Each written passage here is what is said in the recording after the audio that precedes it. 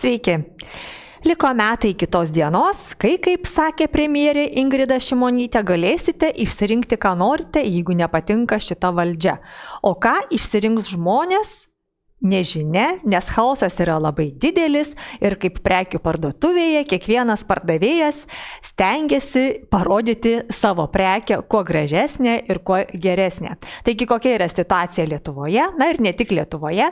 Šiandien mes apžvelgsime su Kauno rajono savivaldybės tarybos nariu Artūru Orlausku. Sveiki, gerbiamas Artūrai. Sveika, Gedrė. Na, atvykote iš Kauno rajono, e, iš Kauno rajono, Kauno rajono savivaldybės. Tai papasakokit, gal, tai kaip ten, gal ten irgi demokratija, gal ten visai gyvenimas kitoks, palyginus su Vilniumi, gal, gal ten mažiau diktatūros, kokia ten situacija? Situacija e, patys galite spręsti, jeigu iš 31 tarybos nario yra 20 socialdemokratų, e, reiškia, mhm. meras liko tas pats, žmonės e, tai pasirinko. Mhm jų sprendimas yra logiška, kad gerbtinas, bet, e, reiškia, kai pradedi daryti susitikimus su gyventojais, jie tada pradeda man pasakot, kaip viskas, reiškia, kaip čia blogai, čia blogai, čia kažkodėl niekas nedaro, čia darželių trūksta, nėra mokyklų, pažadai nevykdomi, keliai nesfaltuoti. Tai aš sakau, ašgi tik, vat, sakysim, kelis mėnesius esu tarybos narys ir aš su savo, e, reiškia, vienu balsu iš tikrųjų negaliu įveikti 30, bet aš galiu paviešinti, reiškia, jų visų darbus, e, paviešinti tas spragas, kurios nepadarytos ir e, pasiekti kažkokiu rezultatu per viešumą. Aišku, čia dabar aš pradėjau daryti tokias video ataskaitas, ta prasme, po kiekvieno posėdžio, po kiekvienų kažkokių susitikimų su žmonėm darau video ataskaitas, e, ką pavyko nuveikti, ką pavyko padaryti. Tai pavasarį, reiškia, iškilo dilema, kad Domeikavai, kur jau ten virš 10 tūkstančių gyventojų nėra bankomato, Tai aš kreipiausi ir ten yra ir privati kompanija, kuri bankomatų stato ir į bankus, kad jie E, neužmirštų šito kampo ir jie padarytų viską, ką įmanoma, kad atsirastų bankomatas. E, e, iš karto buvo sureaguota, o visai neseniai paskutiniam dienom Rimi Domeikavo atsirado bankomatas. Ta prasme, pasižiūrėjo, kad iš tikrųjų gyventojų daug, žmonėm bankomato reikia, dar ta privati kompanija galvoja, kad įrengti antrą bankomatą analogiško, kuris yra kačerginiai čia ta pati kompanija būtų galima įrengti ir seniūnyje, aš kalbėjau su seniūne, visai įmanomas variantas, ta prasme vietos yra, Tai klausimas kaip ir išsisprendžia. Ten e, tokių dažniausiai tai būtinių problemų, kurios yra įsisenėjusios, e, kodėl, sakysim, e, Baptų stadionas vis dar nepastatytas, nors jau e, ne va tai susitikimo metu prieš rinkimus žadėjo, kad jau rudenį bus, ruduo atėjo, stadionas gal geriausiu atveju bus kitų arba dar kitų metų rudenį, jeigu bus pinigų. Mhm. Čia toks vat. Jeigu. Vis taip, jeigu. jeigu ir, ir taip. tada paaiškėja, kad prieš rinkimus buvo tam tikrą prasme nerealūs pažadai, tam, kad e, suvilioti rinkėją patiklų, o jisai išrenka ir paskui nustemba, kad jisai išrinko tos pačius ir nori pokyčių. Nu, kaip tu išrinkęs tos pačius, gausi kažko geriau, niekaip. Tai situacija yra tokia, kaip, kaip ir visur, kur didelę dalį užima kažkokią tai viena partija. Aš visada sakiau, kad monopolis reiškia bet kur, ar tai ekonomikoje, ar tai politikoje, niekada prie gero nepriveda. Konkurencija visada, sveika konkurencija visą laiką duoda geresnį rezultatą, negu kad yra, sakysim, viena kompanija, valdanti visą rajoną, kaip šiuo atveju Kauno rajone socialdemokratai, vaidinantis opoziciją šeši turbūt e, Tevinės sąjungos Lietuvos krikščionių demokratų e, atstovai, kurie viskam pritarė ir lygiai taip pat vaidinantis opoziciją liberalai, kurie irgi viskam pritarė e, ir net jokių pasiūlymų neteikia. Tai visi taip susigyvenę, ar ne? Taip. Jie, jie ten jau kaip vienis. Jie kaip vienis, iš tikrųjų, socialdemokratai su Tėvinė sąjunga, tai apskritai kaip vienis, o dabar socialdemokratai dar tokie net ir kaip ir Laisvės partijos filialas, jau jie ir už visas LGBT ir panašiai. Ir jie mano, kad su protinė negalė vaikus, pavyzdžiui, į tą pačią klasę susodinti ir ten pastatyti tris pedagogus pamokos metu, e, tas, e, reiškia, tokias bendras klases, tai čia yra gerai. Mhm. Reiškia, aš vienas prieštaravau prie šitą sprendimą, dabar išaiškėjo, kad pedagogai skundžiasi, tėvai skundžiasi, visi skundžiasi, kad problemos yra didelis, bet visi nubalsavo vieningai, kad tokias klases daryti. Tai lygiai taip pat klausimas turėtų būti, manau, ir mero paklausti, kiek yra tų lyčių pas žmogų. Mhm. Lygiai taip pat e, kaip ir pas tą pačią opoziciją paklausti, kiek jie mano yra lyčių ir kiek lyčių žmogaus lyčių vaikai bus mokomi mūsų mokyklose.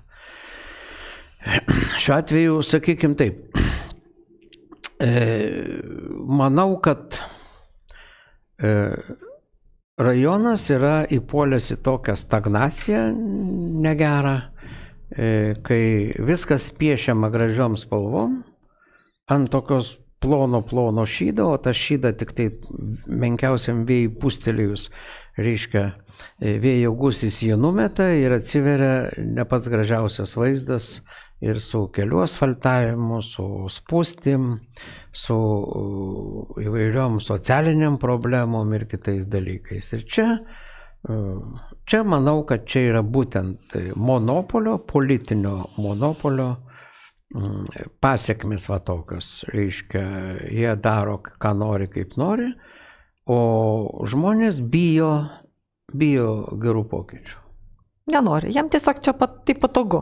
Sunku pasakyti, ar, ar jiem tai patogu, jie tiesiog neatsakingai balsavo. Aš manau, kad turint tokią e, tiek kadrų pridarbinus visose mokyklose visur, jiegi tie kadrai ėjo rinkimo agitacijos metu, darbo metu už valstybinį atlyginimą agituoti ir kovoti už savo darbo vietą.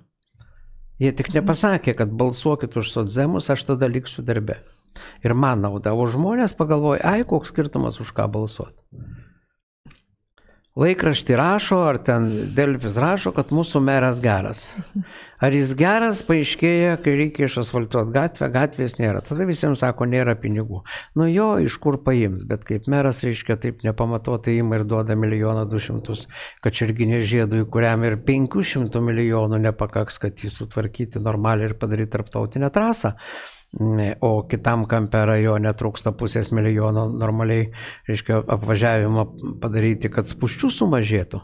Tai tada visi sako, ups, kaip taip gali būti, vad kaip taip, kodėl privatiem, reiškia, atitenka pinigai, e, o, reiškia, visuomeniai tie pinigai lik ir neranda adreso, o lygiai taip pat ir su autobusais dabar, vat, kautrė atidavė autobusus, mano galva tai monopolistas užsiemė dar vieną rinkos dalį, išmetė iš rinkos nemažą dalį e, smulkesnių e, vežėjų, kas irgi yra blogai ir kaina iš karto pabrango ir dar pabrangs. Mhm. Monopolininkas visada kels kainą, nežiūrinti to, ką politikai pasakos, kad žinok, čia bus geriau, mhm. gražiau, švariau, bus brangiau. O taip iš karto ir turėtų pasakyti. Bus brangiau ir čia net, net neverta ginčytis. Bet čia labai įdomiai su, šit, su kautra. E, kaina nuo euro 25 išaugo iki 2,68 eurų. Čia žmonės siuntė visą tą informaciją, Taip. iš tikrųjų Kauno rajonas permokė ir kaip ten žmonės paskaičiavo, siuntė tą e, informaciją, ten rajonas e, permoka apie 10 milijonų per kelis metus. Tai iš tikrųjų, kodėl taip atsitiko, kodėl meras pakeitė nuomonę, e, kodėl savivaldybė pakeitė nuomonę, kad mokėt brangiau monopolininkui. Nežinau, aš matau gerą pavyzdį šitoj vietoje ir aš e, prieš rinkimus žadėjau šitą, e, vis bandė mane, reiškia, socialdemokratai durnint, kad to neįmanoma padaryti. Tai dabar yra puikus pavyzdys, Radviliškio rajono savivaldybė padarė nemokamą transportą, visuomeninį transportą, tiek priemestinį, tiek miesto transportą e, visiems gyventojams ir reiškia tai, ką žadėjau, kad reiktų padaryti nemokamą transportą, akivaizdus pavyzdys veikiantis modelis yra. Anksčiau mes kaip pavyzdį visi sakydavom e, modelį, kuris devyni metai jau turbūt Talinė veikia. Aš kelis kartus ten buvau, iš tikrųjų puikus E, sprendimas, spūščių sumažėjo visiškai, per piką nėra spūščių, todėl kad visi važiuoja visuomeniniu transportu. Reiškia, miestas švaresnis, ekonomija yra ir tikrai sutaupomi pinigai, žmonėm patogiau. Lygiai tą patį dabar padarė Radviliška rajonas ir čia yra faktas, kad galima tą padaryti. Ir, bet čia kažkam lėsiklėlė prapuola kažkam prapuola lėsiklėlė ir va čia matyti dėl to, kad kažkas bijo prarasti lėsiklą, sako, kad padaryti nemokamo transporto gyventojams nėra galimybės. Yra galimybė ir radviliška pavyzdys akivaizdžiausias šitoje vietoje. Na, betgi konservatoriai mes prisimenam, kokia buvo e, viešųjų ryšių antikampanija prieš socialdemokratus, kurie e, buvo, kaip, na, sakoma, jų įtako zonoje buvo Lietuvos geležinkeliai. Tai o čia kaip, jeigu yra įtako zonoje monopolis 20 savivaldybės tarybos narių socialdemokrato iš 31 savivaldybės tarybos nario ir tas monopolis šitą Tevinė sąjungos Lietuvos krikščionių demokratų partija tenkina? Jie, faktas, kad juos tenkina, aš sakau, jie mhm. dirba kaip viena kaip? partija su dviem E, filialais. Taip. Jie mhm. visur dirba kaip viena partija. Jeigu žiūrėti ir, ir centrinę valdžią, tai socialdemokratai mhm. Seime balsuoja lygiai taip pat mhm. kartu su Tevinė sąjunga Lietuvos krikščionis demokratai. E, Kauno rajono savivaldybėje balsuoja lygiai taip pat su E, socialdemokratais jau Tėvynė sąjunga Taip. balsuoja kartu su jais. Yra išlygų balsuojant dėl e, politinės rezoliucijos, kurią siūlė Lietuvos šeimų sąjūdis, pavyzdžiui, Prienų rajone, kad savivaldybės tarybos nariai turėtų viešai padeklaruoti tai, ką žadėjo prieš rinkimus. Kad jie vis dėlto e, šitos seksualinių mažumų propagandos į mokyklas neįleis. E, ir mhm. vaikam, mažamečiam, nepilnamečiam, iki mokyklinukam tokių dalykų nebus. Į Lietuvos šeimų sąjūdį visi žiūrėjo, kaip ir sakė, ką jūs čia įsigalvoja. Dabar gyvenimo mhm. įgūdžių programa akivaizdžiai parodė, kad e, visa ta programa sukurta remiantis pasaulinės sveikatos organizacijos rekomendacijom, kuriuom sako nesivadovaus, o visos rekomendacijos surašytos ir jos vis dėlto pateks į visas programas, anksčiau ir vėliau ir dabar dalis jau patekia ir tos visos mhm. rekomendacijos ten bus. Tai pavyzdžiui, Prienų rajone, kaip nekeista, Tėvinės sąjungos Lietuvos krikščionių demokratų nariai, kaip tikri konservatoriai, mhm palaikė tą iniciatyvą, kad ta propaganda neturėtų patekti į mokyklas. Ką ir turėtų mhm. daryti konservatoriai. Bet šitie konservatoriai, e, kurie yra Seime, jie seniai ne konservatoriai. Ten mhm. konservatizmo neliko nelašo, nes konservatizmas jų pačių įstatuose yra parašytas, kad jie už tradicinę šeimą, už krikščioniškas vertybės ir čia nei krikščionybės, nei tradicijų, nei prigimtinės šeimos viso, visose tose veiksmuose, ką jie daro, ten seniai nėra. Viskas yra prieš krikščionybę, prieš tradicinės, prieš e, prigimtinius dalykus, viskas priešingai. Aš visą laiką sakiau, e, jūs neklausykit, ką kalba, jūs žiūrėkit, ką daro. O jie daro būtent visiškai priešingai negu sako. Reiškia, meluoja, o kaip sakė jų pačių patriarchas, kas meluoja, tas ir... Vagia. Tas ir vagia. Ir kai premjerė sako, iš kur aš paimsiu 40 milijonų žemdirbiam, Klausimas, o iš kur jinai paėmė 37 milijonus žydam? Gražinti nesiskolintus pinigus ir nepaimtus jų pinigus. Tipo mes pasidarėm skolingi dėl to, kad žydai užsimanė. Nors kubilius jau 37 milijonus buvo gražinęs. Ir skola kaip ir buvo uždaryta. Taip. Iš kur atsirado dar 37 milijonai. Nenustepsiu, jeigu ta pati kompanija, to pačio Zingerio, čia visą tą šaiką sakys, žinokit, mums labai patiko, reikia dar biški 37 milijonus, kad būtų pilna ta skola gražinta. Ir ne vieną kartą geriausiai būtų. Mhm. Tai kas čia, kas 10 metų mes turėsim mokėti po Pastovi, 37 taip. milijonus, kai Mhm. svarbiausiam, būtiniausiam e, veiksmam premjerė sako, kad nėra. Žemdirbėm nėra, mokytojų atlyginimam Mm, nėra, nėra. e, sveikatos apsaugai nėra, Nėra vaistų, trūksta. vaistų taip, trūksta ir, ir Ir panašiai. panašiai. Taip. Tai beje, truputėlį dar grįžtant prie, prie automo, auto, autobusų ir pavėžėjimo Kauno rajone, tai labai įdomus yra susitarimas.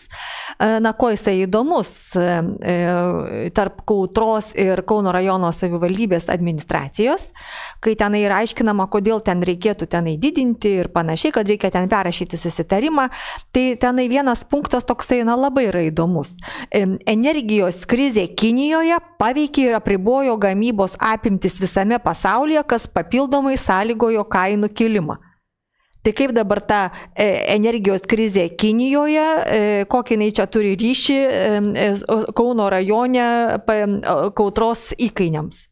Vat, Pavežti vat kokia, gyventojus, Vat, pavyzdžiui. vat kokia. Vat Na ir- kokį va? Bet ir klausimas iš tikrųjų, ko, ko, kokią įtaką Taip. energijos krizė Kinijoje turi Kauno rajonui. O Na. kai mes visi žinom ir iš viešos Mhm. spaudos, net ir tą sisteminę žiniasklaidą, kad kinai perka pigiai dujas ir naftą iš rusų. Mhm. Taip. Pigiau negu Taip. visa Europa Mhm. ir net dalį tų mm, energijos nešiklių tų perparduoda į Europą. Taip pat kaip ir Indija. Reiškia, ten krizės jokios nėra. Kas čia per frazę ir kam Taip, jinai tai va, skirta? labai kažkaip įdomiai. Ir, ir toks pasiteisinimas tik tai dar e, kartą įrodo, kad tiesiog čia slypi visai ne energijos krizė. Ir, ir ne kainų, energetikos e, kainų, e, reiškia, šokinėjimas ar sviravimai pasaulio biržose, o tiesiog tai yra kažkieno interesas, kurį bandoma paslėpti, ne va tai tarptautiniais lozungais ir visais kitais dalykais. Aš galvoju, kad čia, e, taip kaip ten visi tie dokumentai atsiusti, e, reiškia, čia turėtų susidomėti specialiosios tarnybos. Nes, nu, tokie skaičiai ir tokie keisti dokumentai, jie iš tikrųjų stebina. Kaip šiais laikais, va taip gali čia, va, vykti tokios, tokios ma- machinacijos prisidengiant Kinijos e, energi, energetinę krizę Taip. kurios, kurios nėra. Aš dar vieną tokį, reiškia, irgi e, sprendimą, reiškia, noriu pakomentuoti. Savivaldybė mm, priėmė sprendimą e, pastatyti keturias elektromobilių krovimo stoteles prie savivaldybės pastato, kuris yra Kauno mieste. Kauno rajono savivaldybės pastatas yra Kauno mieste. Kad nemokamai Kauno rajono valdininkai galėtų pasikrauti automobilius, elektromobilius, kurių kol kas nėra.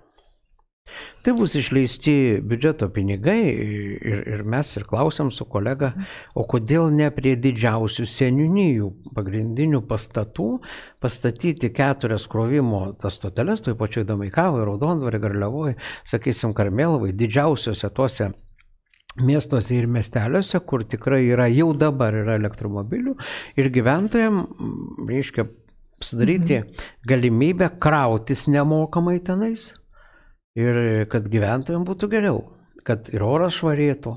E, Juk savivaldybė pasirašė žaliosios e, savivaldybės deklaraciją, mm, visiškai neatsižvelgdama į tai, kad 100, 1600, atsiprašau, pasaulio mokslininkų, tame tarpe ir Nobelio premijos laureatas e, ekologas e, parašė, kad nėra jokios klimato kaitos. 1600 mokslininkų pa pasaulio, aš visą šitą medžiagą buvau išsintinėjęs visiems tarybos nariam prieš šitą tarybos sprendimą, kad jie pasižiūrėtų, kaip yra iš tikrųjų ir kad visas tas e, cirkas su klimato kaita čia tiesiog noras apmokestinti lietų arba vėją.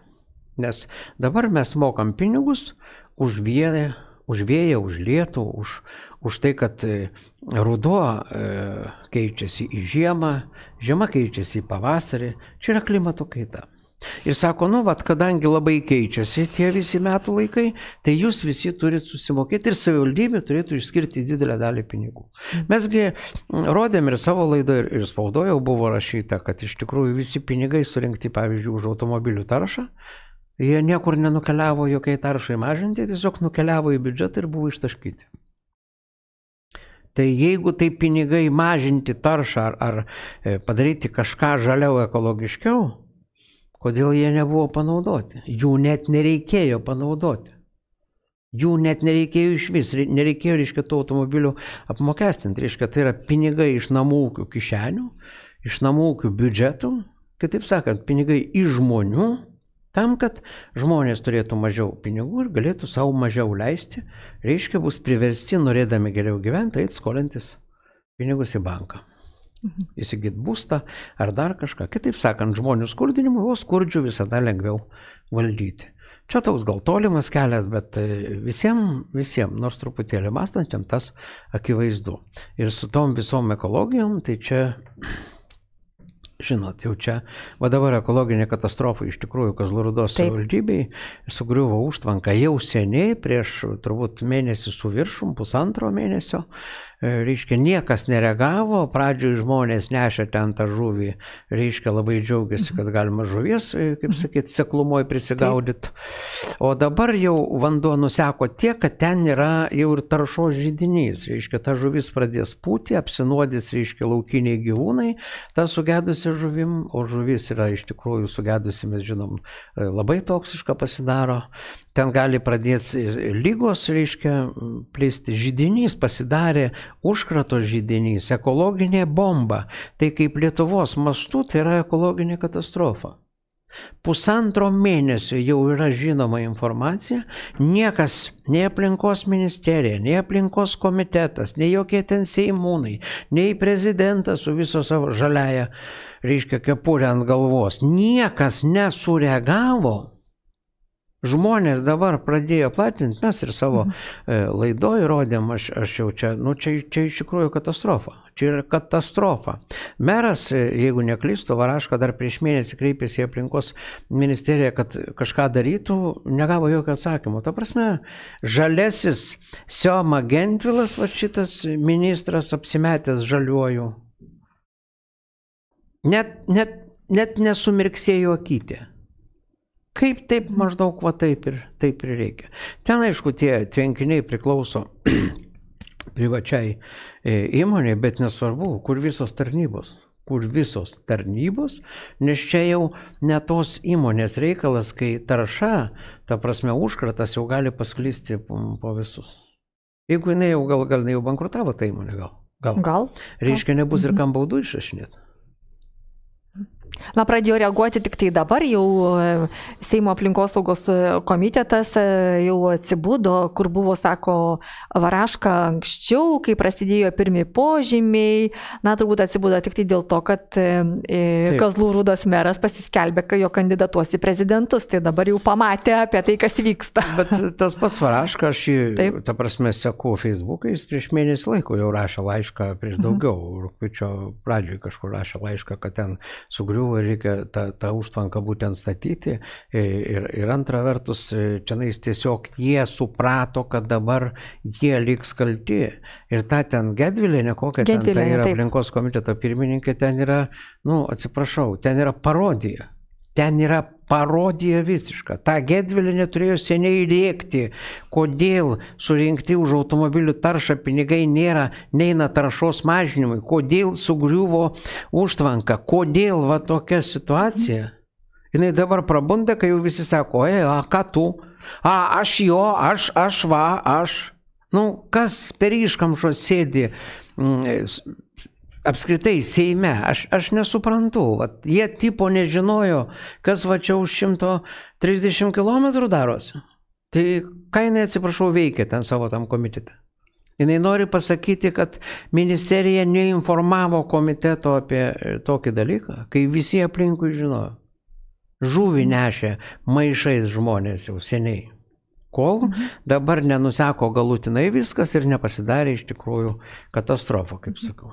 Na tai griuvo ne tik tai užtvankos, tai griuvo Lietuvoje tiltai, keliai yra katastrofiški, siaubingi ir e, mes matome, pavyzdžiui, Vilniuje labai įdomų reiškinį, kai prie, prieš NATO viršūnių susitikimą kai kurios gatvės buvo tarsi ir išasfaltuotos, po to tas asfaltas nuimamas, dabar vėl iš naujo yra asfaltuojama, e, apie kažkokią išnuomotą asfaltą buvo prabilta, o pasirodo, taigi žmonės moka ir akcizo mokestis yra į kūrą įskaičiuotas, visi, kurie pilasi, e, perka kūrą, visi susimoka akcizo mokestį, tai jau čia turėtų būti lediniai keliai. Na turėtų iš vis tu važiuoji, jokių duobių lygų, gražu, Bet e, kažkaip labai įdomu, ten kaip dėl to taršos mokesčio, tai ir labai įdomu dėl to akcizo mokesčio. Tai Spranta. kur tada dinksta tie pinigai, kai pagal tos visos surinkamus pinigus, čia sakau, turėtų, turėjo būti jau ir, ir, ir, ir tiltai atstatyti, ir keliai iš asfalto be problemų. Plusgi gaunam visą krūvą europinių pinigų. Taip, gaunam europinių. Taip. taip. Ir dar aš norėčiau atkreipti dėmesį, jau ne pirmus metus, mhm. ne pirmus metus automobilių kelių direkcija, susiekimo ministerija asfaltuoja asfaltuoja po antrą, trečią sluoksnį gerus kelius, o blogų mhm. kelių nesfaltuoja. Vat ir šiemet aš jau rodžiau savo laidoj, mm, kelias nuo uh, Juragių ten link Kačerginės, puikus kelias, puikiausias kelias absoliučiai.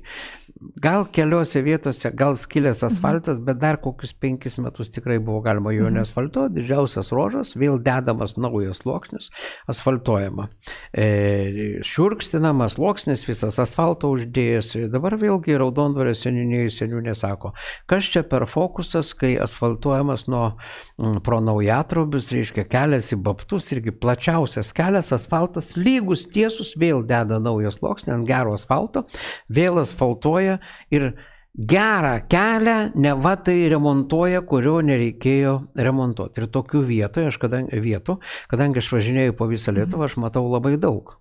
Nereikalingi, nereikalaujantis remonto keliai remontuojami Tai reiškia pinigai išmetami ant tuščio. Kai tuos pačius pinigus galėtų iš tikrųjų suremontuoti visą krūvą pavojingų kelių, e, provežuotų kelių, Taip. labai didelių, dobėtų kelių. Ne, anie paliekami likimo valiai, kur ir automobilių skaičius didesnis pravažiuoja ir asfaltuoja kažkokius visiškai nereikšmingus keliukus, mm, taip darydami žalą valstybei.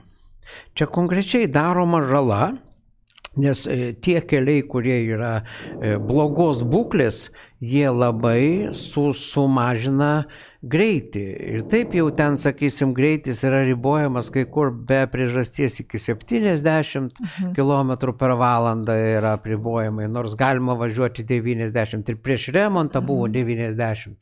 Tai aš jau nekartą, e, manau, kad ir pas jūs laidoju, bet ir visur sakęs esu žmogaus vidutinis darbo užmokestis yra maždaug yra 10 eurų. Tai reiškia, kiekvienas žmogus, kuris e, ilgiau važiuoja kelyje e, valandą laiko, jisai gauna 10 eurų atlygį už sėdėjimą automobilį vietoj to, kad jis jau būtų vietoje. Iš Vilniaus į Klaipėdą jis gali važiuoti 2,5 valandas, reiškia ilgiau. Mm, e, tai jisai gauna pinigus nepadidėjus darbo našumui. Tai yra darbo našumas mažėja, jis lėčiau padaro darbą, kurį galėtų padaryti greičiau ir jam už tai sumokama. Per metus tokių automobilių, kurie velkasi, reiškia, dirbtinai apribojant e, greitį arba nesuremontavus kelią tinkamai, Dešimtis tūkstančių, šimtai tūkstančių mašinų, vadybininkų, darbuotojų, vairuotojų važiuoja.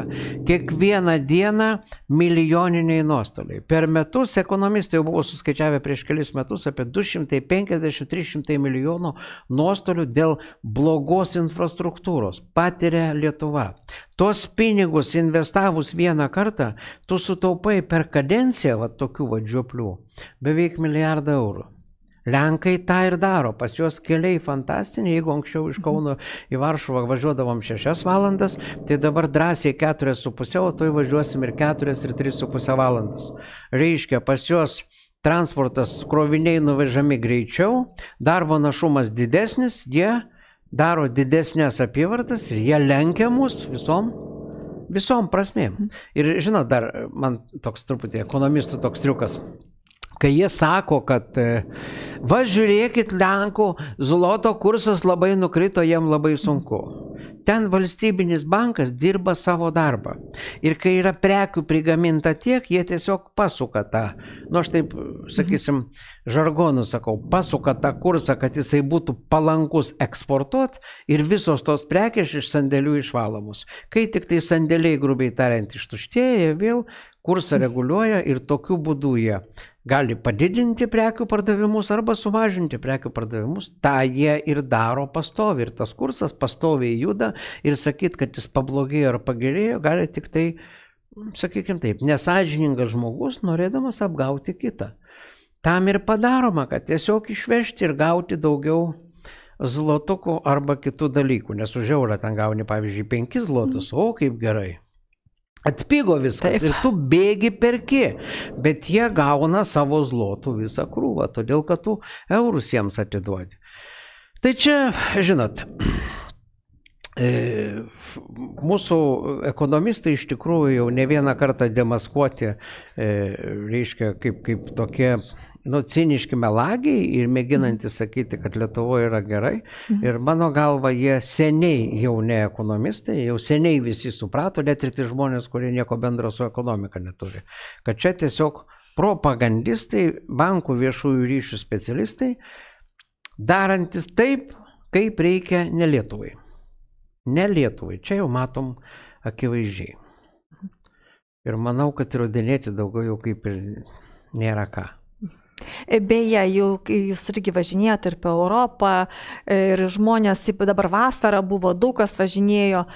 Ir vis, visi klausė vieni kitų, jūs sako, kur nors matėte dar tiek, tiek trikojų ar apskritai trikojų, kaip yra Lietuvoje. Ar matėte kur nors vidutinio greičio matuoklių? Na, kas Latvija išvažinėjo, kas tenai Europą išvažinėjo nuo, nuo Lenkijos iki Graikijos, Ispanijos, visi, visi guščioje pečiais, sako, mes nieko panašaus nematėme absoliučiai. Tai, tai mes čia kas čia? Ir visi, net, jau net kai kurie teisėjai pastebi irgi pervažiavo Europą, Taip. tik įvažiuoja, sako, kirti sieną Ir iš karto čia tiek jau buvo sužeistų, čia tiek jau baudų žuvo surinkta. baudų, tie, tiek baudų ir iš karto tavo, tu pasijauti, kad sveiki atvykę į policinę valstybę. Konkrečiai taip ir yra. Iš tikrųjų, Lenkijoje aš kažkada domėjausi dešimt kartų, kartų mažiau greičio matuoklių, mhm. radarų negu taip. Lietuvoje. Kelių turbūt dešimt kartų daugiau autostradų, dabar mhm. daugiau kaip dešimt kartų daugiau negu Lietuvoje. Mhm. Nors prieš 30 metų mes net truputėlį daugiau autostradų turėjome. Per tuos 30 metų Lenkai taip nubėgo į priekį, kad net tiesiog mums mhm. turėtų būti baisiai gėda. Antras dalykas, avaringumas pas juos tikrai nėra blogesnis, netgi geresnis negu pas mus.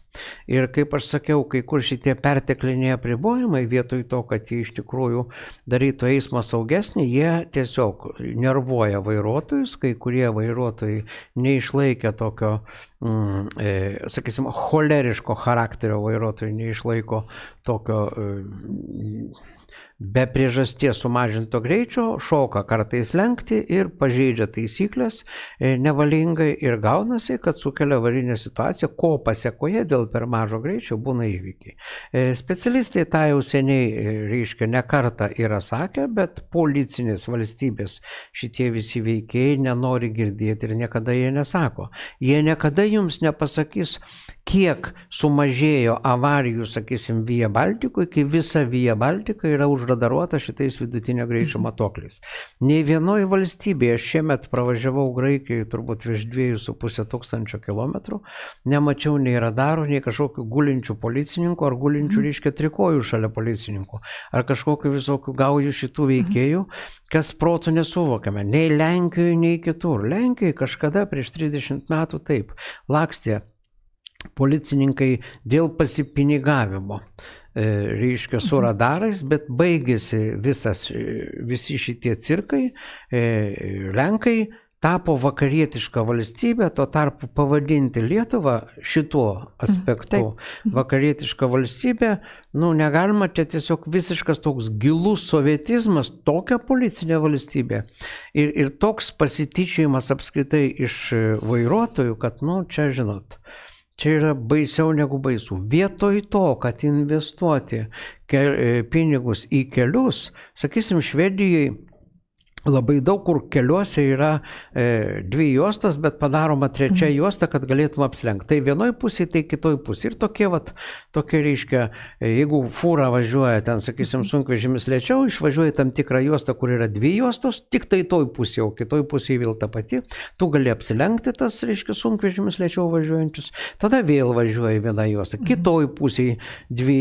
Ta prasme, kad galėtų padidinti greitį grubiai tariant, pakartosiu, darbo našumą, nes švedai moka skaičiuoti. Pas musgi visas kelių eismo transporto reguliavimas yra tai, kad sumažinti pervežėjų darbo našumą, e, kad netgi sugriauti kai kuriem verslus. Dabar va irgi statoma ta e, autostrada jau nuo Marijampolės ten link sienos, kas turėjo seniai būti padaryta, nes Lenkai savo dalį jau padarė, iki suvalko eina autostrada puikiausia.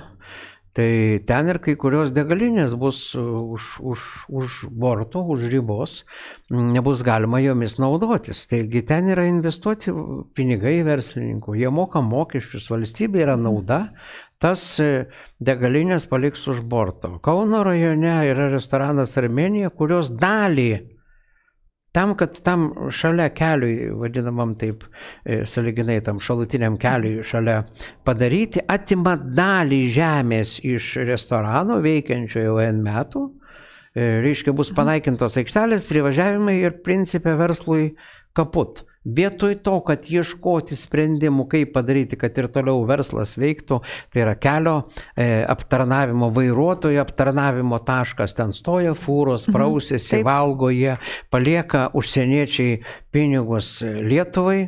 Ne, daroma viskas, kad nebūtų ten to verslo, kad vairuotojai, tranzitiniai vairuotojai nepaliktų pinigų valstybei. Ir tą daro susisiekimo ministerija. Tai yra protų nesuvokiama. Ir jie sako, nu žinot, pas mumis čia normos, 5 km čia tipo kažkokios normos.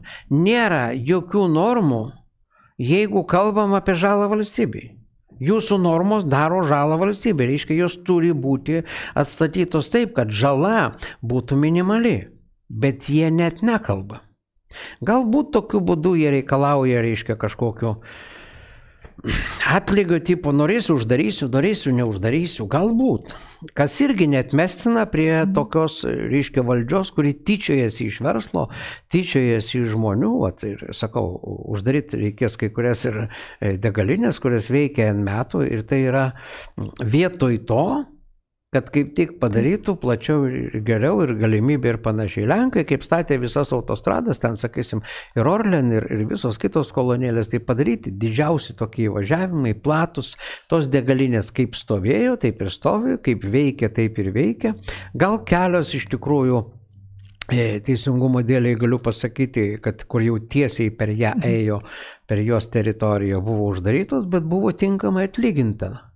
E, reiškia tiem verslininkam, kurie ten turėjo savo verslą.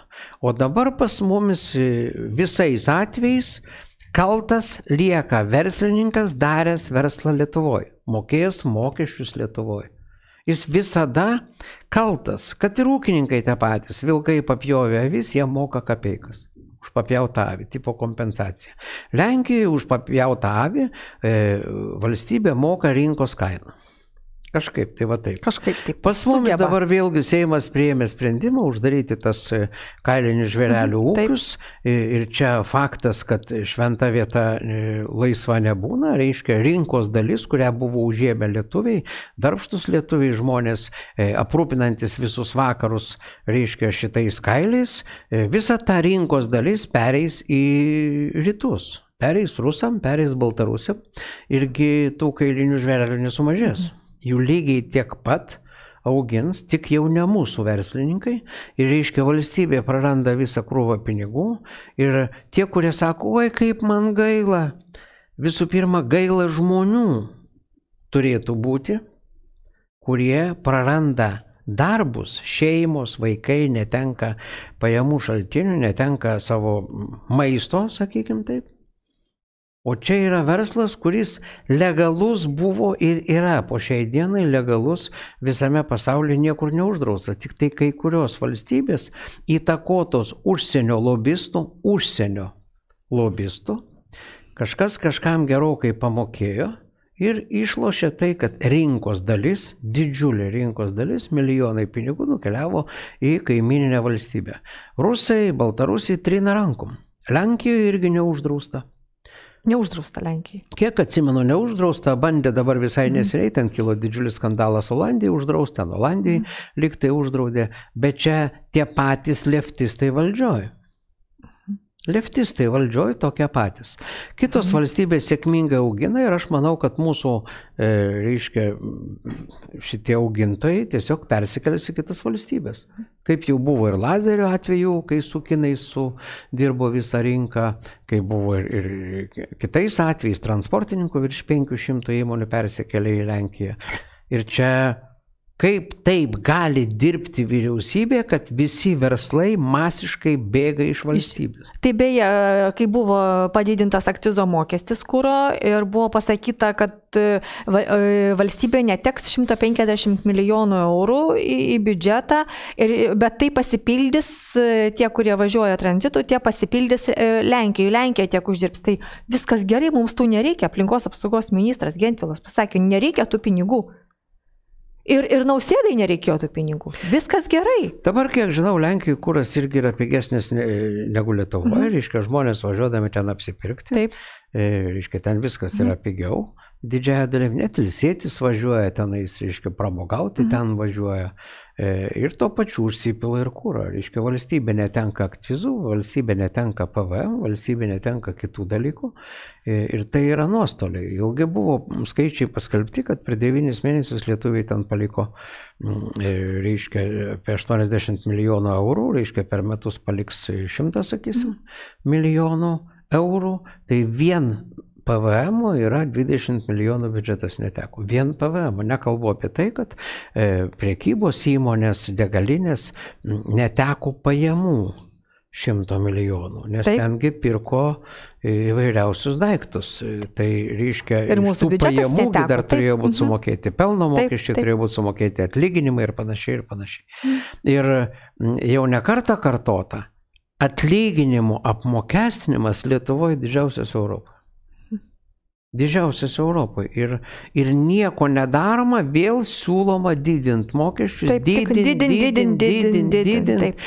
Ir liberalai, kurie ne va tai savo ideologijai pasisako už e, mokesčių mažinimą, atsimena, darė akcijas, mokesčių akmuo, laisvė mokesčių taip, diena. Taip, taip. Jau pažiūrėkit, kokią dešimt metų jau nekalba apie tai. Ne, ne, ne. Todėl, kad jie visą laiką balsavo už mokesčių didinimą ir nie karto nepaprieštaravo. Reiškia, ar jie liberalai, ar tik tai uniformą tokią užsidėjo. Mhm. E, beje, kalbant apie tą policinę valstybę, e, Graikijoje labai pas, lietuviai pastebėjo tokią labai įdomų dalyką, kad visur, ir kurortuose, ir ne tik tai, nėra tų, tų apmokestinamų stov, automobilio stovėjimo aikštelių.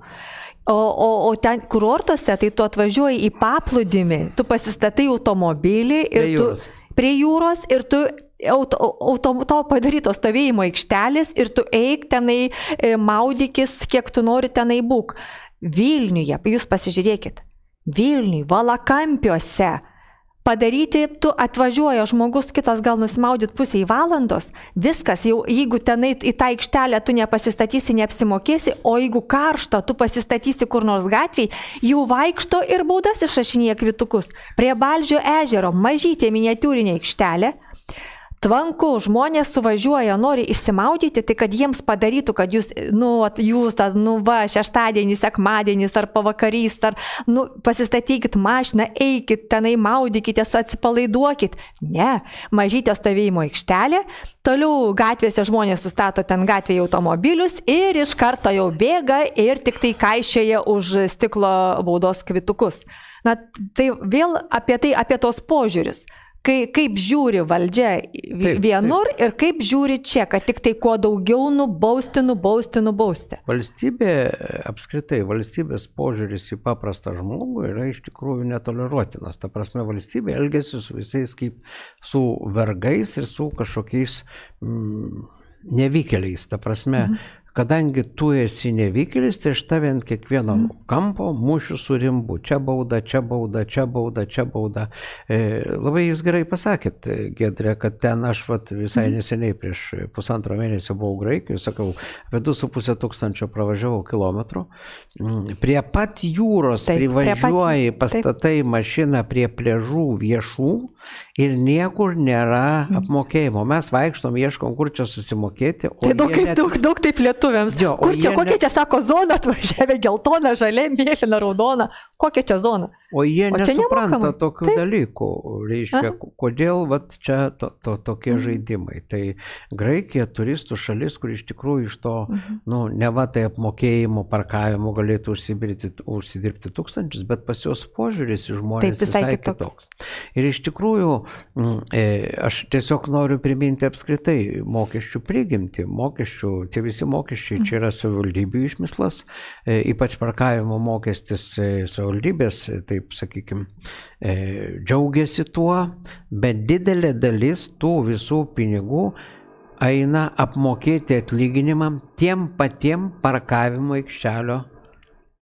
baudų šitiem surinkėjam. Taip. Tai yra kontrolieriam ir panašiai, tai yra mokestis tuščias dėl tuščio aparatam nusipirkti, išlaikyti, mhm. juos remontuoti, Taip. kontrolieriai vaikščioti, gauna savo pasidarė lesiklėlę. Nauda iš to, kad ten neva tai mhm. turėtų sumažėti arba padaugėti laisvų vietų, taip ir neįrodyta mhm. realiai ir paskaičiavimų tų nėra. Tiesiog savivaldybė turėtų padaryti daugiau parkavimo vietų. Aš suprantu, ten, kur pastato, sakysim, daugiau aukštę stovėjimo aikštelę, ten yra apmokama, taip, ten yra ir pavėsis, ir nuo lietaus, ir apsauga, ir kiti dalykai. Bet dabargi tiesiog gatvėje sustoji, tave apmokestina. E, ir, ir čia pati mokesčių prigimtis e, yragi tokia, kad tu moki mokesčius valstybei ir valstybė iš to turi tau užtikrinti medicininį aptarnavimą, švietimą, Taip.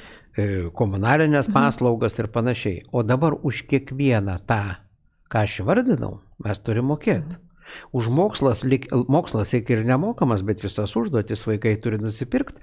Mm, pratybų mhm. sąsvinis, nors švietimo ministerija sako, kad jie nupirko už milijonus tų, tų pratybų mhm. ir visi tipo gali gauti mhm. nemokamai, bet kažkodėl negauna. Visi turi nusipirkti eduką, reiškia, vaidindami paramą mokyklom, nors eduka turėtų būti nemokamai. Visi turi įsigyti kitus dalykus, kai ateini medicinos įstaigą tu uh, kraujo pasidaryti tyrimo negali, tau pasakys ateik už penkių mėnesių, bet už pinigus tu gali pasidaryti Taip. dabar, reiškia tas sveikatos draudimas kaip ir negalioja realiai. Mhm Mm, tų paslaugos už tą, kad tu sumokėjai už sveikatos draudimą, tu negausi. Lygiai taip pat e, vanduo, reiškia, buvo geriamas, dabar sako, kad žinokit, iš krano negerkit, nors visais laikais turi užtikrinti savivaldybė geriamo vandens aukštą kokybę, kad nenusinodytų žmonės. Visi kiti dalykai, kurie buvo įtraukti į mokesčius, pasidarė apmokami, tu moki papildomus pinigus iš lėto, iš lėto, iš lėto ir už parkavimą, už stovėjimą, už kvepavimą, už leidimą prekiauti kažkokioj mūgiai. Ir už viską žmonės moka, įprato taip mokėti, nesusimastydami, kad dar prieš turbūt 50, jeigu nesuklysiu, metų visas tas buvo nemokama. Net prieš šimtą metų nepriklausomai Lietuvoje nereikėjo jokių licenzijų žvejybai, nereikėjo jokių kažkokių specialių licenzijų, reiškia, medžiokliai, nereikėjo grybavimui, nereikėjo visiems kitiem dalykam. Parkavimas buvo miestuose nemokamas, reiškia, vanduo, elektra buvo nemokama, dujos kai kur buvo nemokamas ir apskritai. Ir Amerikoje dar prieš 20 metų buvo, pavyzdžiui, e, dujos nemokamos. Ar elektra nemokama. Dabar, kad nesuklyščiau, bet iš tikrųjų net nustebino, kad va taip yra, reiškia, viskas įskaičiuota į tą bendrą nuomą. O pas mus viskas va taip lik netyčia, va taip kilo, kilo ir dabar, kai sako, tai yra automobilių taršos mokestis, tai ne automobilių taršos mokestis. Tai yra tiesiog tu moki nuomą valstybei už tai, kad turi automobilį. Čia taip, jie tik pavadino į taršos mokesčių. Realiai tu sumoki pagal savo automobilio, e, reiškia, variklio tipą ir turi sumoki nuomos mokestį valstybei. Už ką? O kodėl aš dabar turiu mokėti dar, sakysim, kurortuose pagalbės mokestį, ne tik kurortuose, Vilniuje irgi, reiškia, kurortuose, pagalbės mokestis valstybei už ką? Už ką? O jeigu aš nemėgojau ant pagalbės, ar aš atsivežiau savo pagalbę? Nu, aš čia ironizuoju, bet iš tikrųjų, koks dar pagalbės mokestis, kurį turi sumokėti, sakysim, to būto ar kažko mhm. mokėtojas. Kai jau taip aš pastačiau mašiną, jau reikia susimokėti, tai aš jau susimokėjau tą kurortinį mokestį kažkokį. Dar kažką. Ar kurortai nuo mūsų to pasidarė kažkokie ten prabangesni, vad, sakysim, graikai tai pačioj nėra jokių ten mokesčių, pastatė Mhm, mašiną, kur yra laisva. Taip. Ir, ir to, tau viskas yra gerai. Tu radai vietą ir stovėk. Mhm. Ir čia pat pležas, va čia pat, va čia, va per gatvelę, va čia. Tu Taip. gulėdamas pleže matai savo automobilį. Niekas neieško nei pagalbės, nei, nei paklodės mokesčių, nei šlepečių mokesčių, nei matraso mokesčių. Niekas to neieško. Mm, Ir, ir neprašo to susimokėti, bet prisigalvoja visokių dalykų ir atrodo, va čia euriukas, čia euriukas, čia euriukas, čia euriukas. Prisiminkit dabar, kad už kiekvieną pavedimą vis ten euriukas kažkoks. Taip, Tai. Už tavo sąskaitos žiūrėjimą, nors niekas ją nežiūri euriukas, ten dar kažkoks euriukas. Ir tų euriukų per metus iš kiekvieno kišenės susidaro riebus keli šimtai pinigų, kuriuos tu galėtum išleisti savo.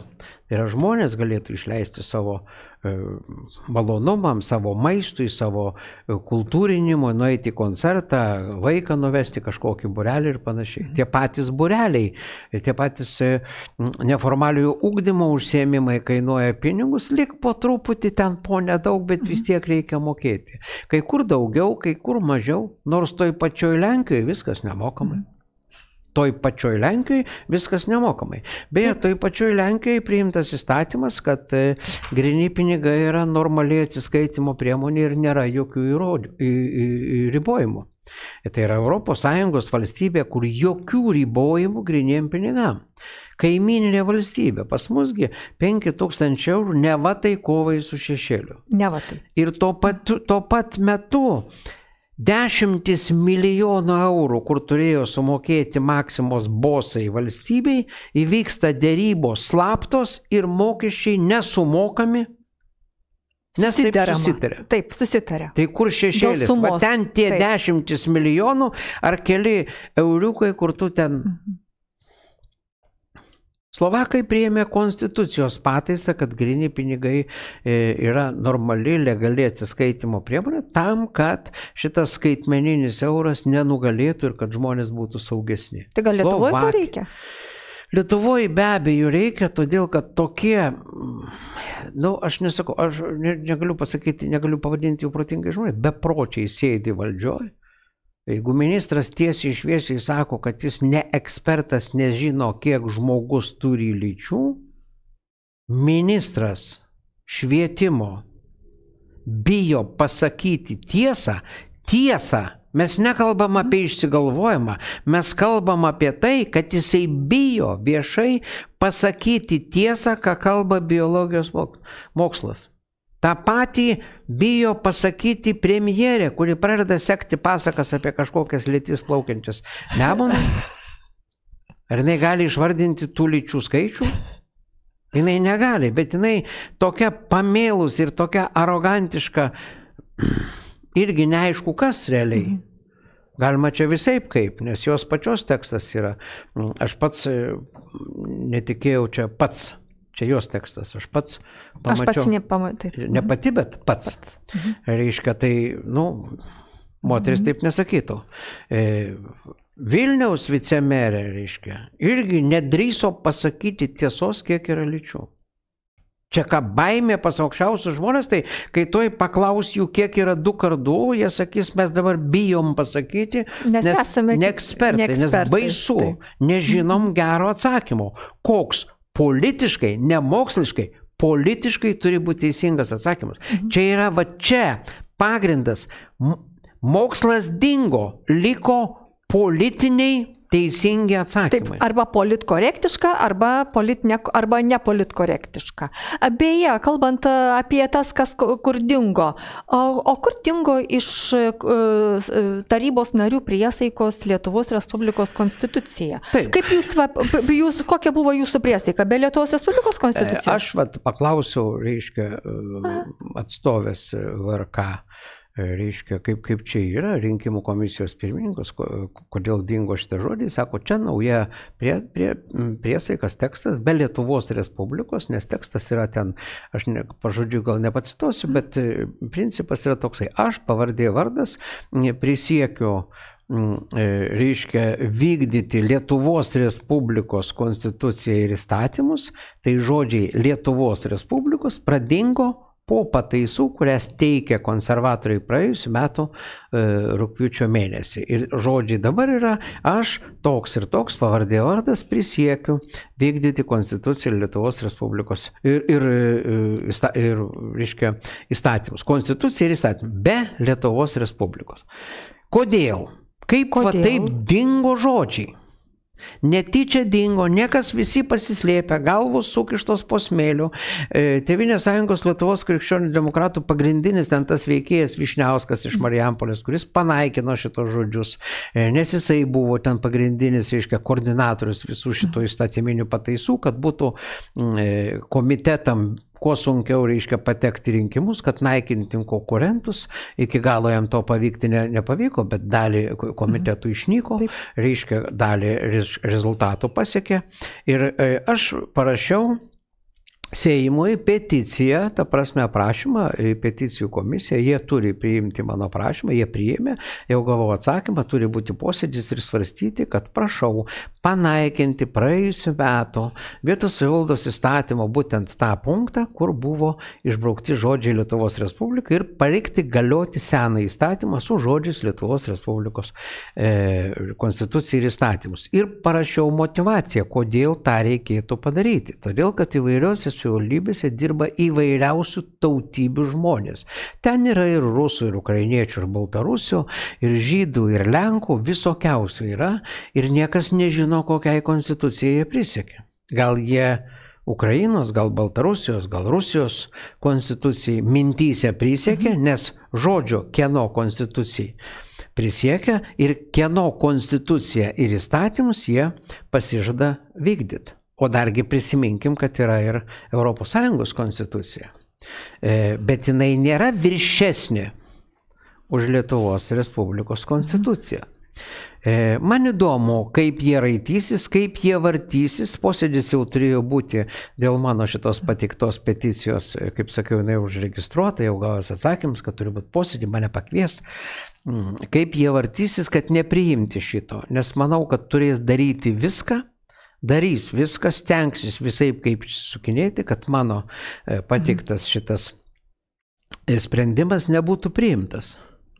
E, Čia dėl politinių, aišku, sumetimų kažkoks Kauno rajono tarybos narys ten kažką prakišo įstatymą, ne, jie vartysis visai kaip. Aišku, dabar atsirado, jau mačiau po, po mėnesio, turbūt gal pusantro, kai aš jau gavau atsakymus, kad mano peticija registruota, ten įvairių svarstymų, kad ir kiti Seimo nariai jau teikia kažkokias įstatymo pataisas, kurios galbūt rudens, o galbūt pavasario sesijoje bus svarstomos, galbūt taip mėgins apsisukti. Mhm. Bet iš tiesų, aš manau, kad čia buvo nusikalstamas veiksmas, sąmoningas veiksmas, padarytas iš e, būtent, e, aš sakau, neapsiverčia man ležuvis jų vadinti konservatoriais, nes jie nėra konservatoriai. Iš ne. Tevinės sąjungos Lietuvos krikščionių demokratų. Šitos persirengėlių leftistų partijos. Ir nubalsavogi, jie priemė tas įstatymo pataisas visas. Reiškia, palaikė juos ir, liberalais apsimetę, ir šitie e, neišsiblaivantis iš narkomaninės abstinencijos, reiškia, visokie ten laisviečiai, ir morganos visokios, ir visi kiti. O beje, labai įdomu, kad apie tai, kad dingo šitie žodžiai, buvo pastebėta tik po savivaldybės tarybos rinkimų, kai reikėjo prisiekti. Priesaikos metu. Tik tai kai priesaikos kurios, metu. Kai kurios savivaldybės prisiekė su šituo tekstu, prisiekiu e, vykdyti Lietuvos Respublikos konstituciją ir įstatymus ir vyriausia rinkimų komisija, kurį beje irgi atkreipkite dėmesį, nesikreipė į Seimą, kad ištaisyti klaidą, kad pataisyti. Vyriausia rinkimų komisija irgi turėtų, turi tikrai galimybę Taip. išstoti prie Seimo, pasakyti, kad radom klaidą. Ne, jinai pripažino savivaldybių priesaiką, kurie naudojo Lietuvos Respubliką, negaliojančią. Ir tos savivaldybės turėjo nariai ir merai turėjo Iš naujo. Prisiekti. prisiekti, iš naujo prisiekti. Tai buvo ir Joniški, tai buvo ir Kazlurdos savivaldybė, mhm. tai buvo labai daug savivaldybių, beros apie 20 savivaldybių. Ir niekas nesuprato, kaip va čia taip išnyko. Bet tai labai įdomu, kur tada buvo Seimo pozicija, kodėl išlindo tik tai tuo metu, kai jau reikėjo prisiekti, kai, iš, iš, na, kai Praėjo kilo. geras pusmetis. Taip, po- tai o kur, po tai palaukit, taigi jie tai buvo tada Seimo salėje, tai jie ir balsavo, ar nebalsavo. Ir tyla, iš Seimo opozicijos visiška tyla, kad klausykit, kur dingo Lietuvos Respublikos e, konstitucija, kur dingo priešais konstituciją šitie du žodžiai. O ar yra ta opozicija? Tai aš dabar norėjau klausimas? paklausti, va, Ar yra ar yra, ar yra tikra Seime opozicija? tikra opozicija? Bet kuri, nes e, socialdemokratai apsimeta opoziciją, bet jie visada balsuoja kartu su Tėvinės sąjunga Lietuvos krikščionim demokratais, visais klausimais. e, Blinkevičiūtė dabar tiesiai išviesiai pantrino tai, ką pasakė Šimonytė. Viena partijos lyderė pasakė, kad civilinė sąjunga tai yra vienalyčių asmenų vestuvės sąjungos yra labai gerai ir reikia visus skatinti balsuoti. Ir Blinkevičiūtė pasakė tą patį. Tai kokios jos, atsiprašau, opozicionierės, jos dvi seserys. Tai beje, tai apie tą... Vieno, Jo. o, vieno medžio vaisiai. Tai, e, taigi jau ir sutarta yra, kad konservatoriai e, su socialdemokratais jie sudarys e, koaliciją po Seimo rinkimų. Na, nors Blinkevičiūtė dar bando sakyti, na, gal mums išeis ir kaip nors su ko nors ten, kaip nors be tų konservatorių, bet jų konservatoriai rankom trina, kad čia viskas gerai, kad jeigu jau bus socialdemokratai e, laimės Seimo rinkimus, tai ir mes. Nes jų yra labai sena svajonė. Aš dar prisimenu, nuo 2000 metų ne vieną kartą buvo e, teikiamas toks modelis, kad Lietuvoje turėtų būti kaip Vokietijoje, kad konservatoriai su socialdemokratais, nesvarbu kas laimi, bet jie visą laiką pasikeisdami yra valdžioje. Ir daugiau nieko nėra, bet jie yra tik tai tos dvi partijos ir čia jų labai sena svajonė. Faktiškai iš esmės, ką mes matome ir kad net ir Kauno rajono savivaldybės Taip. taryboje, tai kad tai yra kaip tas vienis. Ten Viena pavai... partija- Viena partija truputėlį pavaidina e, prieš rinkėją kartais, e, kad jie čia yra ne, ne vienas ir tas pats, bet iš tiesų tai mes matom, kad link to ir einam ir po Seimo rinkimų jau yra projektuojamas na, premjeras, e, Taip. Na jau, jau sako, jau ten tiek. Čia- Energetikai jau nusprendė, sako, kad e, naujas premjeras, e, tas, kuris čia nesugriaus dabartinės energetikos sistemos, e, Ignyčio ir Aš, e, panašiai, kad tai bus Jonavos rajono meras Sinkevičius. Aš galiu taip pasakyti trumpai, jeigu taip vienu žodžiu, tai e, tas pats viena partija dviem galvom. Kūnas mhm. yra vienas ir tas pats. Taip. Tas pats leftistinis, tas pats komunistinis. Ir kiek pas juos yra tų komunistų, kagabistų buvusių, tai yra praktiškai turbūt toks pats procentas tiek vienoje, tiek kitoje partijoje. Arba tų e, komunistų, kagabistų jau palikonių atėjo nauja karta. Bet esmė tai yra tie patys. Ir atkreipkite dėmesį dar, jeigu kažkokios, bet kokios mažesnės, o gal net ir net ne parlamentinės partijos, koks nors politikas kažkokią nors pražangėlę padaro, tai visa žiniasklaida, kuri tarnauja va tom dviejom partijom, praktiškai tai valdančiai gauji e, valdomai iš užsienio, visa ėda tą e, už bet kokį, ten greitai viršit gali, tai rašys ilgai nuobodžiai. Tuo tarpu ten yra teistų asmenų, susikompromitavusių asmenų. Ta pati gintarė skaistė, jinaigi neturėdama vairuotojo pažymėjimo teikė kūro čekučius, už kuriuos gavo pinigus vairuotojo pažymėjimo neturėdama, jinai ėmė pinigus iš savivaldybei už tai, kad išleido pinigus kūrui nevairuodama. E, Druskininkose situacija, net neturintis vairuotojo pažymėjimas krūva pinigų. Radviliškio rajone tos pačios partijos veikėjas iš savęs, iš savo įmonės pirko remonto paslaugas, išaiškėjo, kad nereikėjo remontuoti ten to, to automobilio ir čia šimtai atvejų iš tos pačios partijos, šimtai, kurį nors barą, tas pats Paluskas, teistas už korupciją. korupciją, už kyšį paėmė, ne, jis partijos pirmininkas buvo, tiko visiems socdemam partijos pirmininkas ir dabar jis sėdži Seime, ar nors kartą girdėjot, kad kas nors iš tų šventųjų vertybininkų pasakytų, su teistu asmeniu man nepakeliui. Galų gale šitoj koalicijoje teisiama už politinę korupciją partija liberalų sąjūdis teisiama partija. Ir visiems vertybininkam, kaip jie sako, mes esame už vertybės. Teisiama partija yra gerai. Ir ten tie požymiai tokie su visom tom viskio dėžutėm, nu, per daug akivaizdus. Nors stebuklai čia Lietuvos teisės saugoje įvyksta, mūsų jau nestebina, bet nesvarbu, mesgi visi suprantam, kas čia darosi. Apgaudinėti žmonių daugiau neišeina, bet žiniasklaida mums tiesiog trina smegenis, e, visiems meluoja ir sako, žinokit, žmonės labiausiai pasitikė Tevinė sąjunga Lietuvos krikščionys demokratai, tik šimonytė nepasitikė, kurios pasitikėjimas vos ten 5 procentėlį ar ten 15 procentų, bet partija pasitikė. Nu kaip, va taip, va, jie patys nesusikalba su tavim. Patys nesusikalba su savim. Tai čia klastojimas iš esmės jau būsim, klastojimas būsimų rinkimų rezultatų. Čia yra tiesiog rinkiminė agitacija, tokia paslėpta, melaginga mhm. rinkiminė agitacija, apgauti žmonės ir sakyti, nu žinokit, čia visi yra už mus. Toks mhm. populiarumas didelis, o kai paklausi bet kur gatvėje, kas kaip balsavo, ne vieno žmogaus nerasi, kad balsavo už konservatorius už konservatorius kabutės. Tai gal jie gatvėse ir nevaikšta.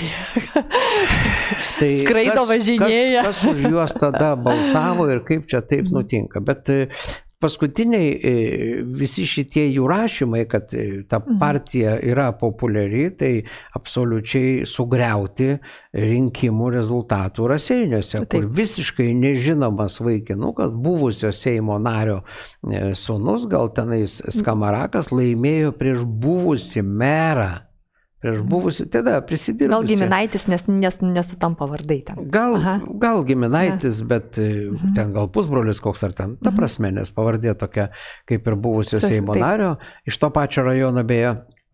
E, nugalėjo merą, kuris populiarus, žinomas. Tiesa, tas meras dar čia rinkimų agitacijos metu galimai e, prikaušęs ėjo sienom ir bordiūrais, reiškia, paskui pabėgo iš įvykio vietos, kitą dieną pasitikrino e, girtumą ir sakė, žinokit, čia nu aš kaip ir biški čia, biški čia ne aš, čia aš kaip kažkaip daužiausi per tos bortus.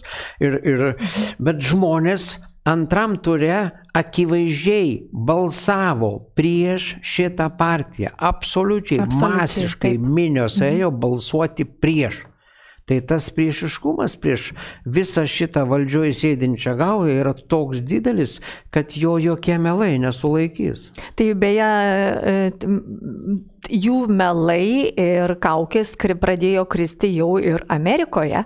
E, yra toksai senatorius Menendesas, kurįgi ten šaikos e, Taip. tas va, paviljonis, paviljonis, kurio labai gyrėsi, jisai savo Facebook'o paskyroje rašė, kad senatorius Menendesas kartais dar vadinamas vadinamas kongreso Bidenu. Su senatoriumi mūsų vedė bendra kova už laisvę Kuboje, kadangi istoriniai Lietuvos ambasada Vašingtonė mano kadencijos metu tapo pagrindinė Kubos disidentų susirinkimų vieta. Tikiu, kad senatorius Menendės mūsų regio... taps mūsų regionui naujojų senatoriumi Makeinu. Na ir staiga, ką CNN demaskuoja, ką rašo apie paviljonio bendražygį Menendėsą, kad Senato užsienio reikalų komiteto pirmininkas į Įtakingas JAV demokratas Menendės pagautas pardavinėjantis įtaką ir sprendimus Egipto bei jo valdžiai lojalių verslininkų naudai. O atsiskaitimas brutaliai paprastas grinaisiais aukso luitais ir Mercedes-Benz automobiliu. Tai Jeigu ten tokia korupcija, tai kaip tada stebėtis ir šaikos tai, žinot, valdymo metodais kai, ir galima korupcija? Kaip paviljonis giriasi, kad jisai, e, tas Melendėsas yra artimas jo draugas, tai Taip. tai aš priminsiu tiesiog e, paprastą seną lietuvišką patarlę, kuri nepaneigta iki šiol, mm. su kuo sutapsi, tuo ir pats tapsi.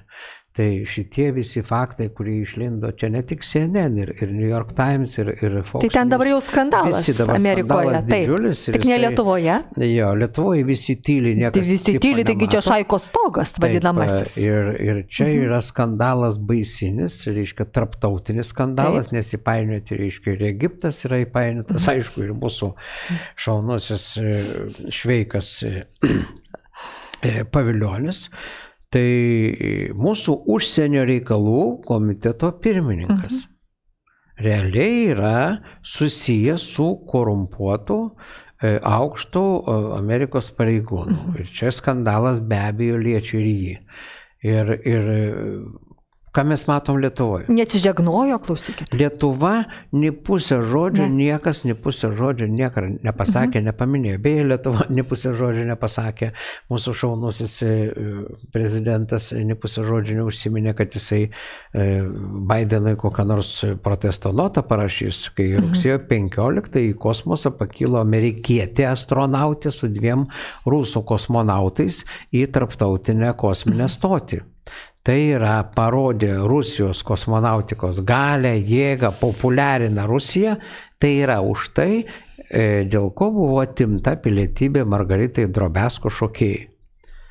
Tai analogiškas veiksmas, tipo Margarita Drovesko šoko ir rodė e, Rusijos dailiojo čiuožimo jėgą, tai šita astronautė rodė Rusijos kosmonautikos jėgą ir turėtų kažkokią reakciją. Bus, jeigu prezidentas būtų nuoseklus, jeigu visi būtų nuoseklus ir ta pati e, netaikytų ne vienodų standartų, dviejopų standartų visiems. Ta prasme, jie savęs nemato, ant savęs net Taip. didžiausio vežimo nemato, ant kito mato net šapelį. Ir va šitas aktas, kaip prezidentas atėmė pilietybę iš, iš Drobesko, čia yra tiesiog ir e, mūsų tarptautiniam prestižui, reiškia, smūgis, todėl kad visos kitos valstybės į mus žiūri kaip į kažkokių nevykėlių, kvailių šalį, kur principė už tai, kad dirba kitoj valstybei, e, atima pilietybę.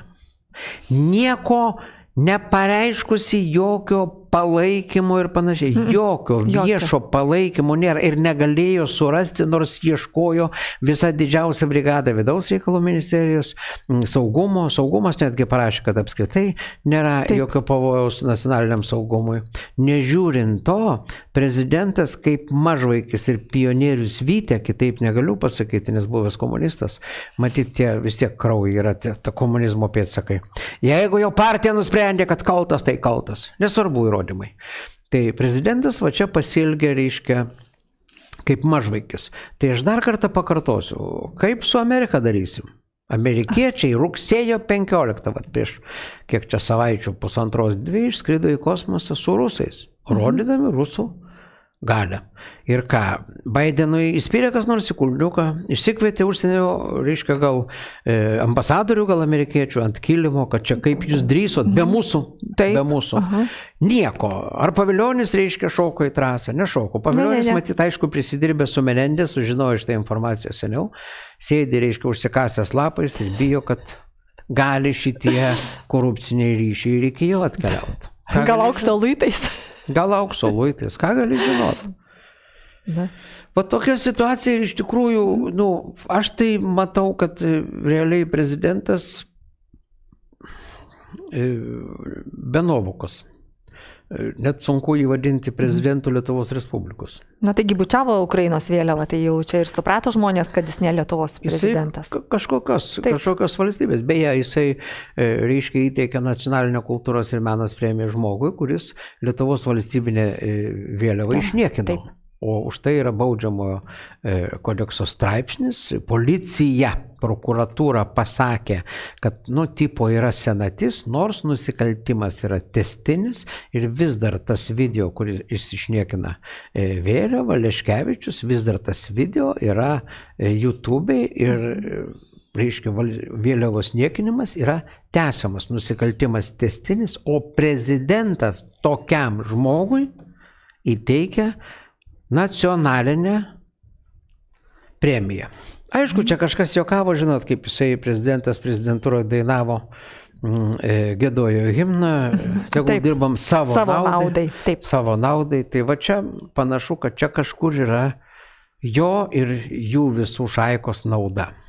Greuti valstybę, greuti kultūrą, greuti e, didžiavirių atminimą, žmonių, kurie garsino N metų Lietuvą, Aš vat irgi diskutavau apie tą drobesko, sakau, nu gerai, reiškia, žmonės ten dirba darbą, Jie gauna ten atlyginimą, jie ne pusę žodžio ne, neparėmė, reiškia, agresoriaus, e, tiesiog dirbo savo darbą ir ar valstybėje Lietuvos pasiūlė jiem ką nors va čia dirbti. Mhm. Atvažiuokit, čia mes duosim daugiau. Nu, nes jeigu geras žmogus, geras specialistas, tai kaip ir sportinė, o jie sportininkai, tai pasiūlai geresnį kontraktą mhm. ir sakai, nedirbtų tam agresoriui. Juk čia yra vertybės, ne piniguose.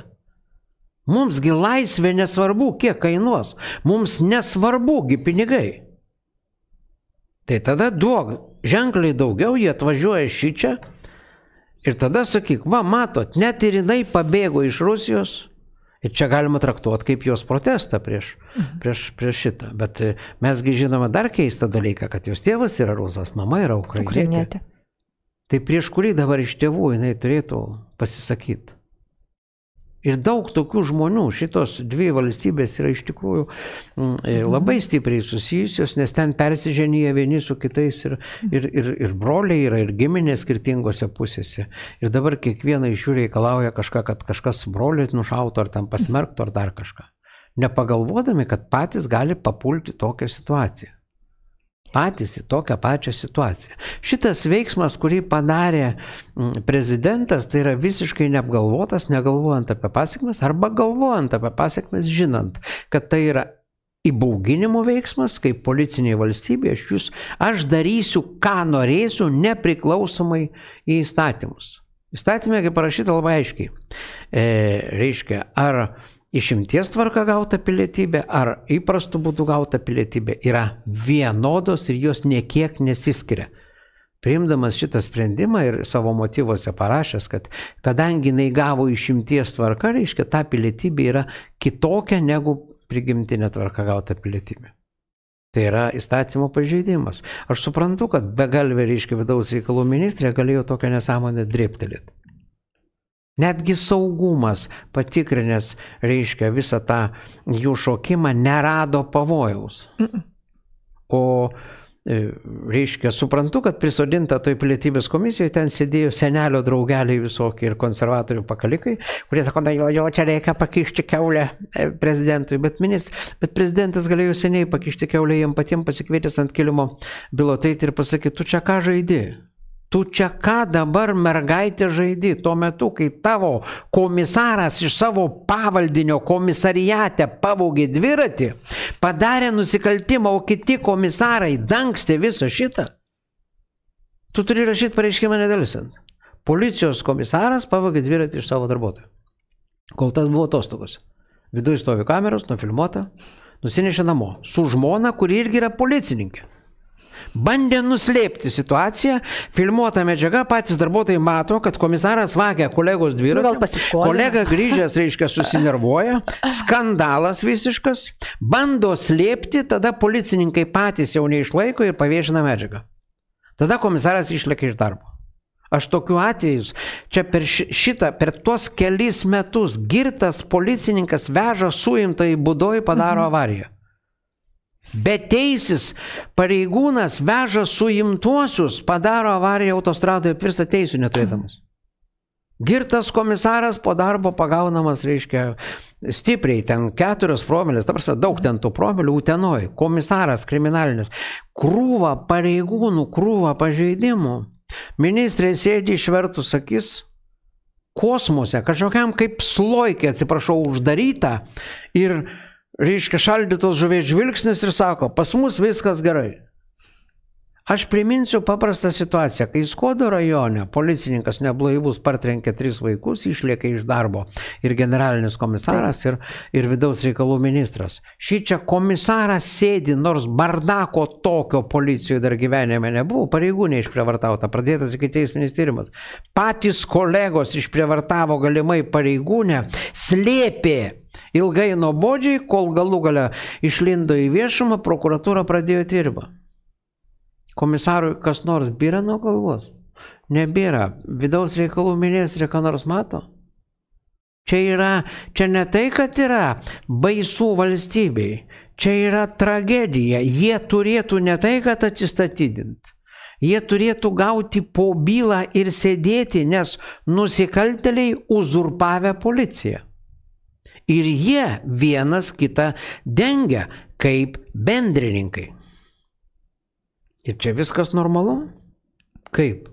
Tai va, kaip ir sakiau, kad pervažiuoji visą Europą, įvažiuoji į Lietuvą ir supranti pagal visus...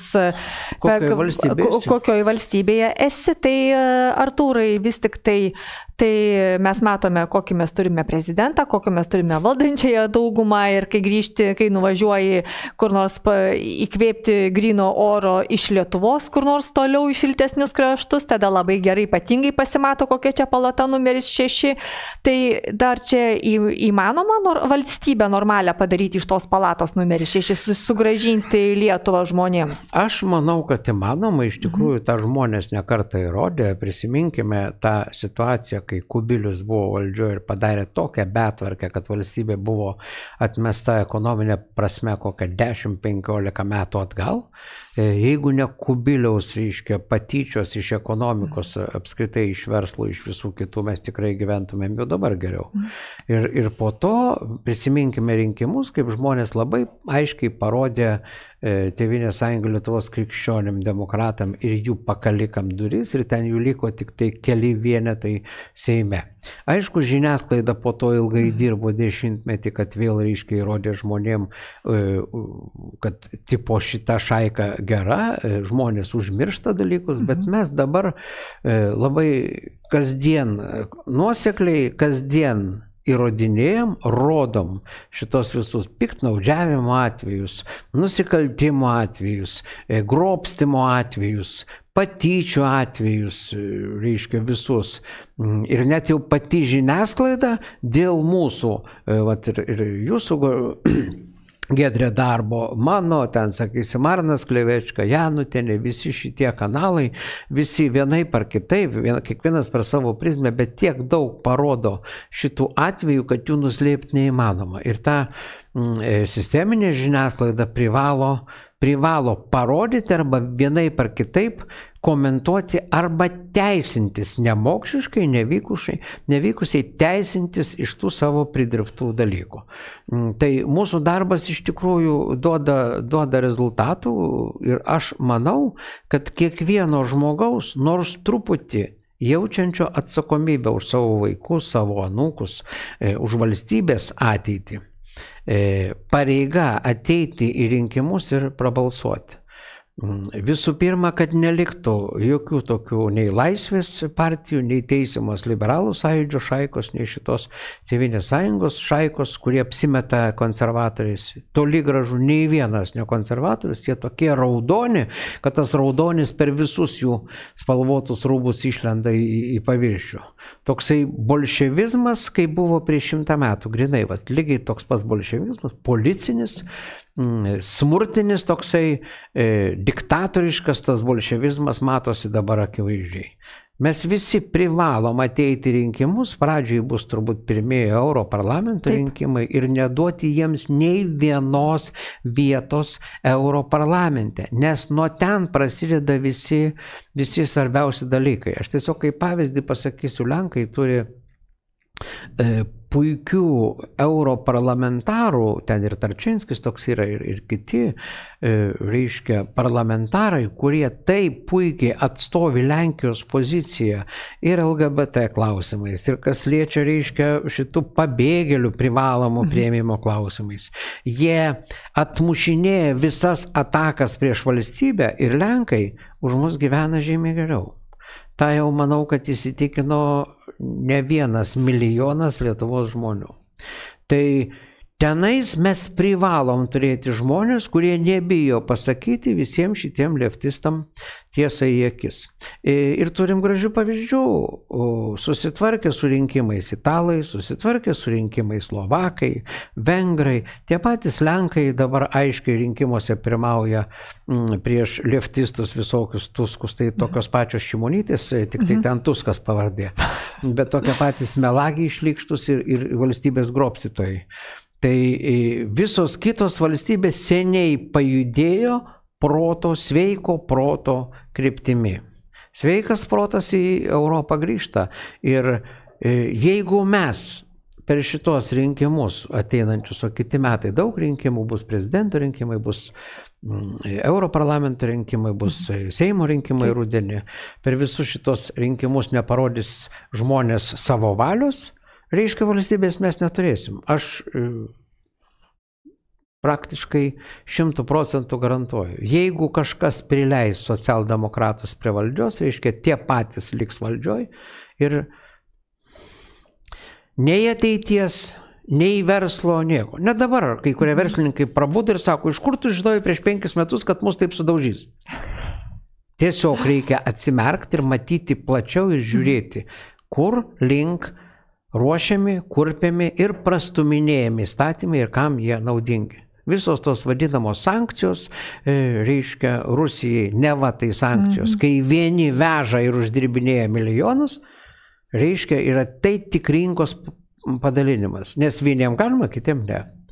Kreiviai prekiauti su Rusija galima, Matišaičiui negalima, jam tiesiog nori atimti verslą. Kreivys tuo tarpu su savo visom mokėvežiai veža baltarusiškas prekes, rusiškas prekes ir sankcionuotas prekes galimai, nes veža anglis, kurios turėtų būti kaip energijos, reiškia, šaltinis, turėtų būti sankcionuotas. Tas pats pavyzdys, reiškia, kaip Estijos premjerės vyras sankcionuotas prekes vežė kitom logistikos įmonėm. Neleido to daryti, reiškia, jis užėmė jų rinkos dalį, pasidarė virš 30 milijonų eurų ant to. Ir čia tiesiog atiminėjimas iš vienų ver verslus, e, pereina tie verslai kitiems, kurie yra prie šaikutės, prie visokių menendisų, prie visokių pavilionių, bet jeigu, jeigu jūs galvojat, kad jie sustos atiminėdami jūsų verslus kažkurioje vietoje, jūs labai klystat. Jie eis iki tol, kol nei vieno čia lietuvių neliks. E, ir šita valstybė pataps kažkokią dikinę, kurią, nu, suprantama, šventa vieta laisva nebūna. Tik vieną žinau tiksliai. Tokį pabaigai galiu pasakyti šita vieta absoliučiai netinkama visokiem atejūnam gyventi. Netinkama. Visi iš čia pabėga. Įvarėgi krūva šitų pabėgėlių iš užsienio, visi tepė slydės kaip elektros nukratyti. Čia buvo ir rusai atėjo, ir vokiečiai atėjo, visokių švedai buvo atėjo, prancūzai. Visų liko tik tai kapai. Visų liko tik kapai. O lietuviai ir toliau gyvena. Reiškia, ir toliau gyvens, tik tai pastangų įdėti vis tiek reikės. Ir mes privalom tą padaryti. Taip. Ateiti kitą metą balsuoti ir nebalsuoti už tą šaiką, kuri yra valdžioje arba kuri yra opozicijoje, bet apsimeta. apsimeta. Tik tai. Tai ačiū Arturai tikrai už tokį nuostabų pokalbį. Ačiū Jums, kad žiūrėjote. Širdingai dėkoju tiems, kurie remiate mus, ar tai Patreon platformoje, ar Contribui, ar momentiškai, kaip Jums patogiau, kurie dar nesate mūsų rėmėjai. E, kviečiu patapti mūsų rėmėjais ir paremti mus jau minėtose platformose. Taip pat noriu padėkoti tiems, kurie jau prenumeruoja mūsų kanalą, o kurie to dar nepadarėte, taip pat nepamirškite užsiprenumeruoti, kad visą laiką būtumėte informuoti apie naujas laidas ir nepamirškite sekti mūsų Telegram kanale, kur yra visa informacija susijusi su komentaras TV. Iki kito mielo karto. Sudė.